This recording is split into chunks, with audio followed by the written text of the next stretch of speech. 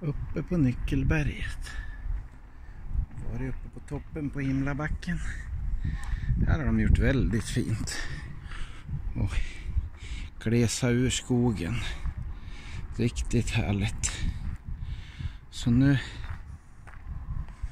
ser man ju lite mellan träden och utsikten. Väldigt vackert. Vi är fredag den 8 maj i nådens år 2020. Eller pestens år 2020.